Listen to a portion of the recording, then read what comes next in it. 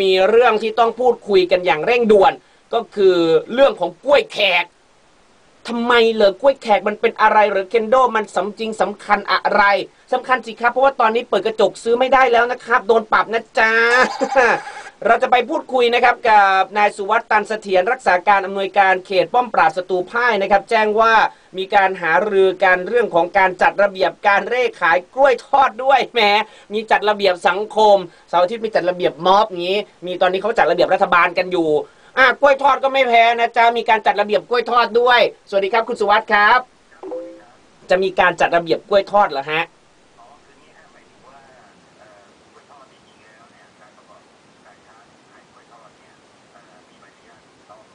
ครับ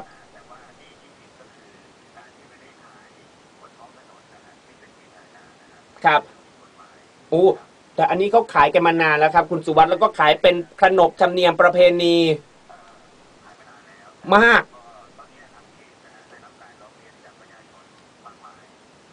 ฮะครับครับ มากเท่านั้นอะ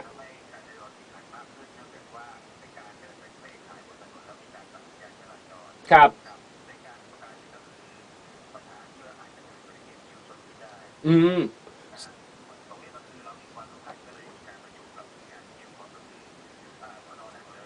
ฮะครับ ฮะ ครับ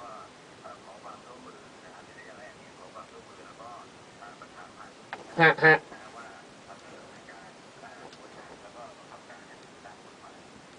ครับครับ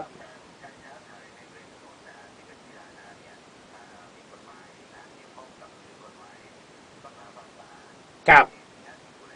ครับ อืม ครับครับ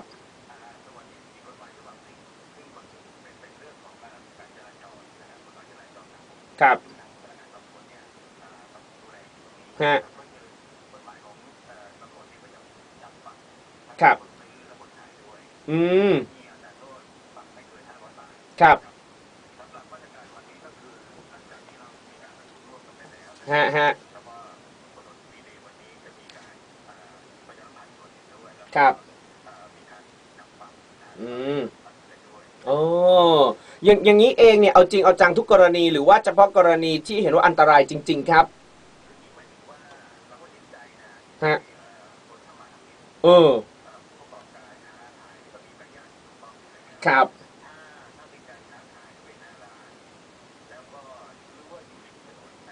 ฮะ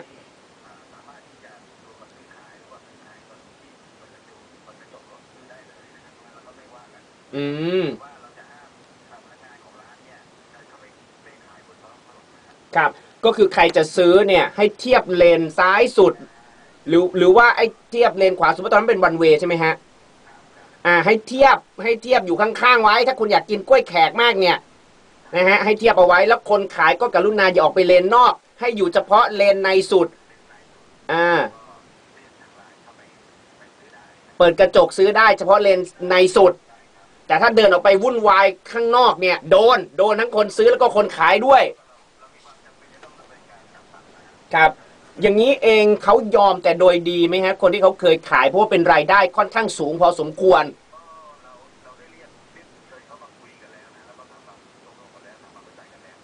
ฮะครับ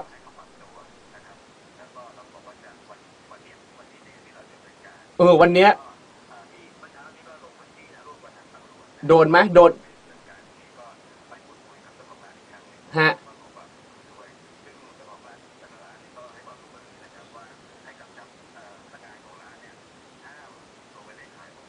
อืม โดนแน่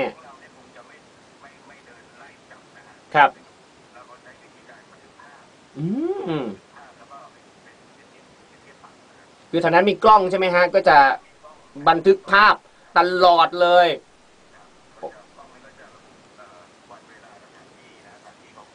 ครับ ครับ แล้วไม่ต้องกลัวฮะแต่ละร้านเนี่ยเขามีเอี้ยมสีต่างกัน เรารู้ว่าร้านไหน ร้านไหนแน่นอน เอี้ยมแดง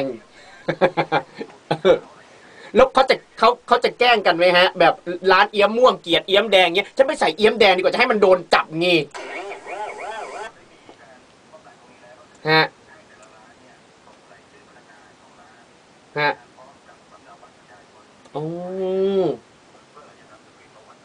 อ้ดีดีครับเอออันนี้จำเป็นครับเพราะว่าเขาขายแข่งกันมากบางทีอู้แทบจะตบตีกันขายเลย มันต้องมีแกล้งกันแหละ ผมว่ายังไงก็ต้องแกล้งกันอะ เพราะว่าฉันก็บอกเอี้ยมแดงฉันอร่อยเอี้ยมเหลืองฉันอร่อยกว่าโอ้จังหวะเนี้ยเออถ้าเกิดมีการลงทะเบียนไว้แบบนี้ก็ป้องกันได้นะครับ เห็นบอกว่าสามารถส่งอีเมลได้ด้วยใช่ไหมครับ คนที่เป็นพลเมืองดี ถ้าเกิด ถ่ายรูปเนี่ยส่งมาทาง Facebook ของทางทางเจ้าหน้าที่ของเขตเนี่ย มีรางวัลให้เหรอครับ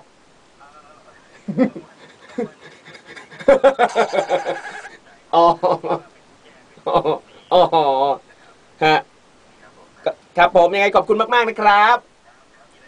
ครับ สวัสดีครับ ผมว่าจะถามนะฮะว่าท่านครับ เอี้ยมไหนอร่อยสุด เดี๋ยวจะหาว่าท่าน